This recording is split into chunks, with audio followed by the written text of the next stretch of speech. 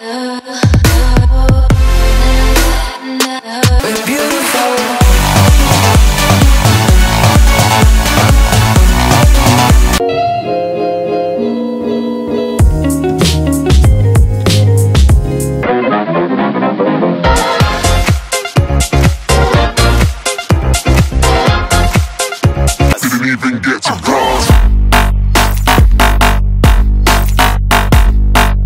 Fight.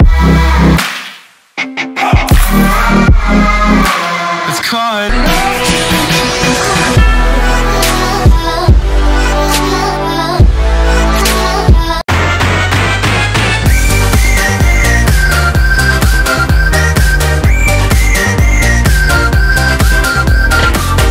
say that it feels right